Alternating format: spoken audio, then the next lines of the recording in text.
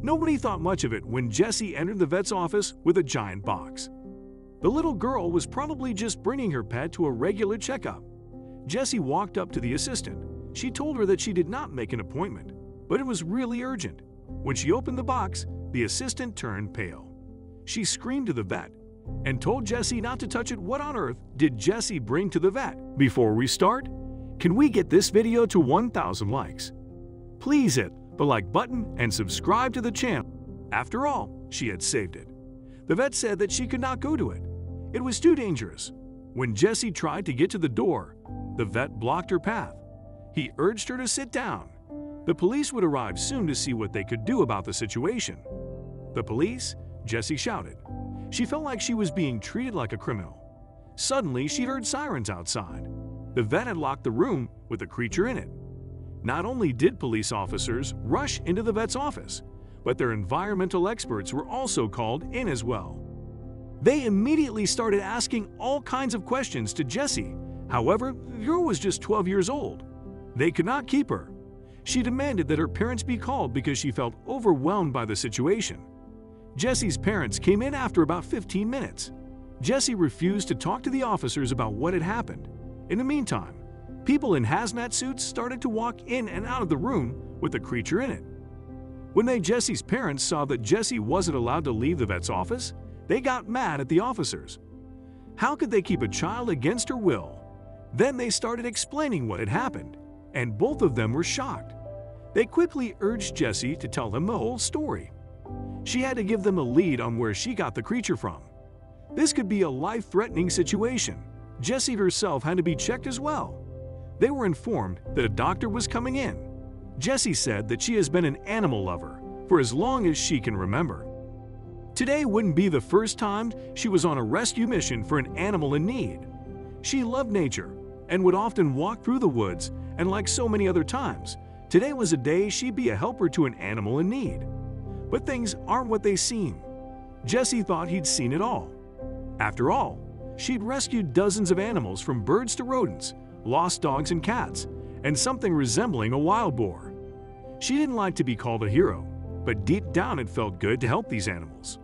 After all, they were so cute and lovable. How could she refuse to help an animal in need? Her parents confirmed to the police that she had indeed rescued multiple animals in the past and that she was a young volunteer for the local animal shelter. But today there was something else that she found in the forest while on one of Jessy's walks through the woods outside of the city. She was sure he heard an animal crying for help. She paused in the woods waiting to hear it again. It was only a few seconds until she heard the cry again. It was faint, but it was definitely a sound she had never heard before in her life. Jessy was determined to find the lost creature. Listening to the cries and taking careful, soft steps, she made his way through the forest. She thought she lost the animal at one point when the crying stopped. Frightened she'd gone too far, Jessy took a few steps back until she once again heard the soft crying. Even with her extensive knowledge of animals, this creature was new to her.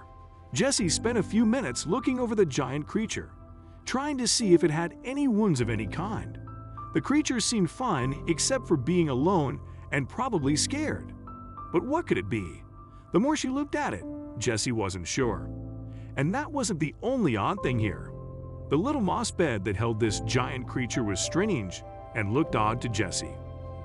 This wasn't something very likely to be found in nature. Perhaps some animal had built it as a sort of nest.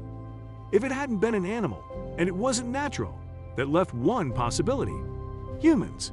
The big question was why would someone come out to the middle of the woods and leave a creature like this alone? She knew one thing had to be done making a makeshift carrier for the giant animal out of the cover of her travel bag. She carefully put the creature inside it. She felt a little sting in her hand. The creature had wounded her. She only now showed her hand to the police and doctor. The spot on her hand had completely turned purple. She was definitely either bit or stung by the animal. Jessy did not want to tell anyone. She did not want anyone to worry about her, but she immediately had to get checked out. The one was quickly found thanks to tracking down her number plate. She also had a purple rash on her body. This definitely meant that whoever the creature infected Jessy and the woman with was airborne. At that moment, the vet started to cough as well. There was something strange going on. The creature probably made the vet sick as well. They had to quickly get to the place where the creature was found. This would get some answers. A team was dispatched to the forest. In the meantime, the vet, the woman, and Jessy were taken to the hospital to get treated. They needed to get blood samples before they could determine what they had to do about it. Jessy had already fainted in the ambulance. This was getting more serious. Her parents weren't allowed to accompany her because there was a risk it would spread. They were being put in a containment unit for observation. The search team quickly got to the forest location, and what they saw there horrified them. The place where Jessy had found the creature was completely dead. Every tree and plant around was completely gone. This was a catastrophe. They had to be extra careful so that they would not hurt themselves. A sample had to be collected so it could be taken to the lab for further testing. One brave officer took it upon himself to get the sample and drive it to the lab all by himself. He had to act quickly. He heard that Jessy's condition had gotten worse. The officer got a quick escort to the lab from multiple vehicles. He was taken inside by a couple of doctors in protective suits. He himself was placed in containment, and they quickly got to work on the sample. But they had to deal with a giant creature as well, who was still locked in the vet's spare room.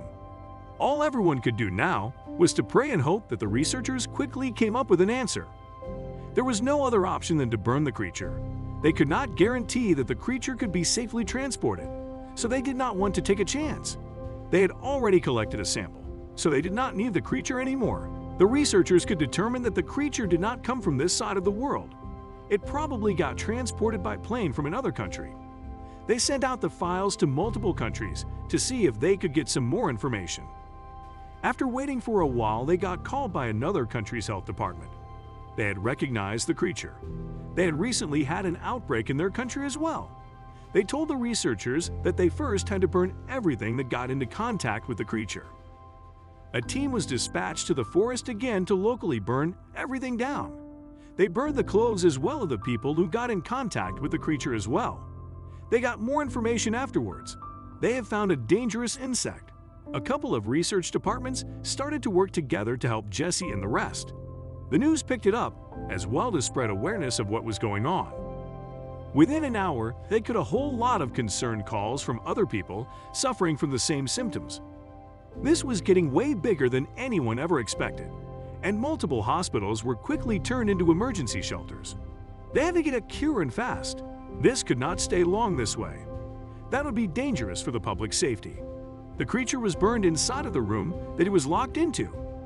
There they found out that the creature had laid eggs. This explained why multiple people were now experiencing similar symptoms. They had to track down where the eggs went. A national hotline was opened for anyone to call in with tips. They got a whole lot of them. People even went outside in groups to search for these insects. They found a couple of them in the city center and on the forest edge. Eventually, it seemed like everything was contained. Now they had to turn to the cure. The other country that helped them had already sent a plane with medication to slow down the process, but they had not found a cure yet. By a stroke of luck, it looked like the parents of Jessy were immune. They took blood samples from them and reproduced the antibodies. This was injected into Jessy's arm. After waiting for a couple of hours, Jessy woke up. She was healthy again. She had asked what was going on and where the creature was. The doctors told her the whole story. Jessy was completely stunned. She felt horrible that she had made this happen. Then the doctors calmed her down. Jessy had in fact saved the entire county.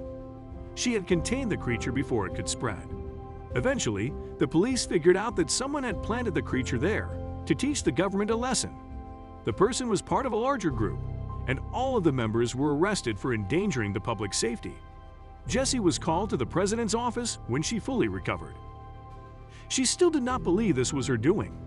The president told Jessy he was proud of a girl like her and that more people should take inspiration from her. She was honored by the president and even got a medal.